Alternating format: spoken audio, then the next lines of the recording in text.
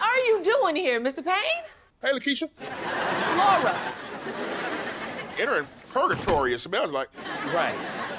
What is that, bad curry? Come on in. Did we leave something at the house? Oh, no. I escaped the yard when your mama wasn't looking. I came to watch the game. Y'all need to get some candles or something. hey, Lonnie, can you give me a beer? Cold one? Snap, snap.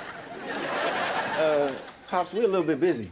Yeah, we're just about to start on our survey, Mr. Payne. Oh, it's okay. You won't disturb the game.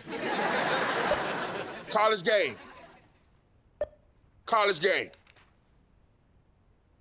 Do this thing have batteries? Okay. It says first we shall open with a prayer. Okay, good. All right. Dear Lord, Yes.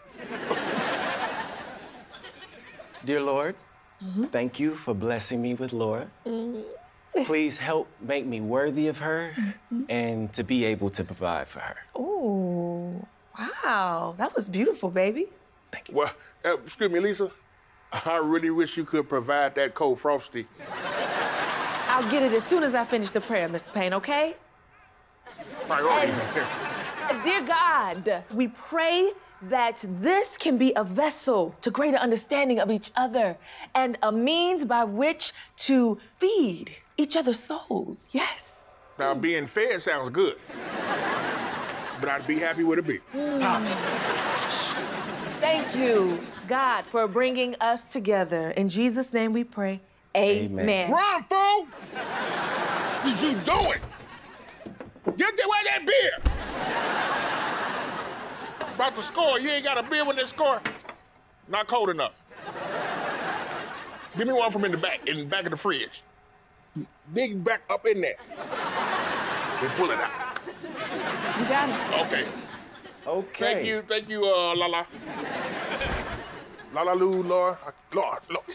Well, okay. Next, it says we should start with a few icebreakers. Okay. Hey, all I can right. use a piece of gum. Mr. Payne. Y'all just ain't got cold beer, huh? Here, a mint. And I hope you choke. It's a horrible way to talk to your daddy. Okay, so what does this say, baby? Okay, describe your partner in three positive words. Okay, oh, that's easy. Um, generous, handsome, smart. You talking about him? Yes. Talking About Calvin? Yes. Okay. Just these are clean. Hold up. Oh, you shouldn't have. What else can I get the man that ruined my relationship? Well, you know, beer is always good. Calvin, you don't really blame me, do you? Oh, well, let's see. Uh, my relationship was fine until you got involved, and then it wasn't. So I think it's pretty obvious. So what you saying? Wait a minute. What? Why is the table set for four? No, you guys didn't. Hi, Calvin. Your father thought we should intercede. Oh, why you always talking about uh, but my your father? You. You know what to do. Curtis, I didn't even want to cook. You the one told me to cook this. I'm saying you ain't got to tell everybody.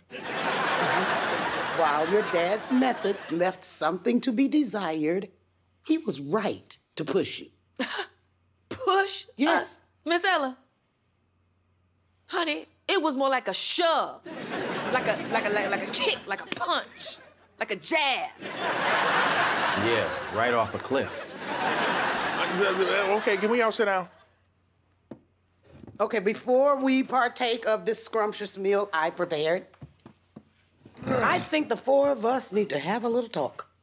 And we think it best that you two listen. You two have decided to get married. You've only been dating for six months. Not saying that you should not get married, but there are consequences to that type of decision. Like not really knowing each other. Not so much that as, okay, here's the thing Curtis and I have been married for decades. A long time. Long time. Yeah, and he still manages to surprise me. I'm a mystery, baby. Right, you are. You, you never completely know a person, and that's good. It keeps the relationship fresh. And it leaves room for growth as individuals. And what naturally happens as the relationship grows is you learn to trust each other with the truth. Calvin, like you didn't think Laura could take the truth about her tandoori chicken. Tandoori. Tandoori. okay, whatever. Get the spice right. And Calvin should trust that telling you the truth won't get him in trouble, Lonnie. Laura. It's Laura. And Laura should be able to trust that Calvin will accept the fact that those little headphones fell into the garbage disposal when she was over here doing the dishes.